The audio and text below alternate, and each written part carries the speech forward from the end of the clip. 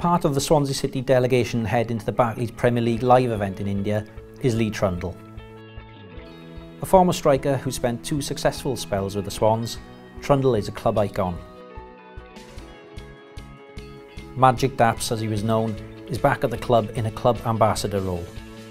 A player who was born to entertain with his silky skills Trundle can't wait to spread the Swansea City word to supporters at the Barclays Premier League Live Fans Park in Mumbai. Yeah, it's very exciting prospect, you know, going out to, to India with the Premier League, along with the other Premier League clubs, to promote Swansea City out there. So, you know, a lot of these people would have seen us on TV and, and watch games, but never had a chance to interact with the club or anyone involved. So it'll be a good um, time to happen. Everyone loves the Premier League. For me, it's where the, the best players play as well. So to get out to, to India and promote our club out there to, to the fans and get them interested in Swansea City is something I'm looking forward to. As a football fan, you start off where you need something to, to get you interested in that club. You know, I think part of my role locally as well is getting round to the schools and getting the kids interested in Swansea City. And this will be the same there to a lot of fans, you know, who watch the Premier League they mightn't have Swansea City at the top of their list as, as one of the clubs that they'd want to support. But if we get out there as a football club, that I'd be the link where I'll be out and about in uh, with the fans, getting them over to our stand, getting them interested in Swansea City, and hopefully then they could keep an eye out for our club, and you know that's where it goes from.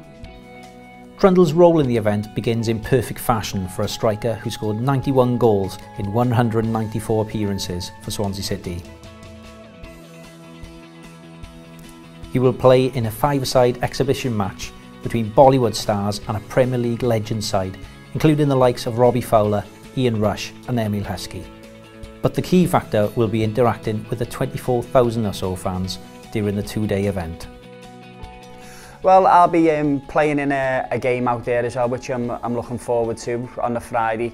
Also, I'll be out and about with the, with the fans there, and I'll also be doing a, a little bit with the freestyler on stage as well. Obviously, not as good as the freestyler because that's his job, you know, mine are more football related, but you know, it's all a bit of fun, so I'll get up on the stage and we'll have a laugh up there. Being involved in a major event like Barclays Premier League Live would have been a distant dream for Swansea City only a short while ago.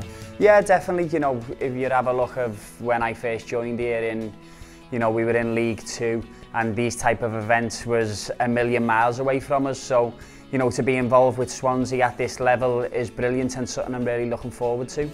For Trundle, it underlines the success the club has made during a remarkable rise through the English system. Yeah, obviously there, there was no facilities really. You know, we had the Vetchfield, which was a great ground to play at, you know, a brilliant atmosphere there, but training ground, we were in between different pitches where we had to just go and find a field to train on.